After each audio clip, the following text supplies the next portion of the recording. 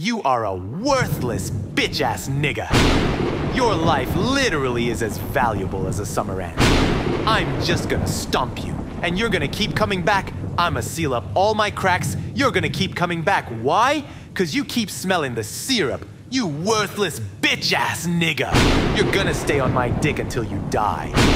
You serve no purpose in life. Your purpose in life is to be on my stream, sucking on my dick daily. Your purpose in life is to be in that chat blowing a dick daily. Your life is nothing. You serve zero purpose. You should kill yourself now and give somebody else a piece of that oxygen and ozone layer that's covered up so that we can breathe inside this blue trapped bubble. Because what are you here for? To worship me? Kill yourself. I mean that with a hundred percent, with a thousand percent. I've never seen somebody so worthless in my life.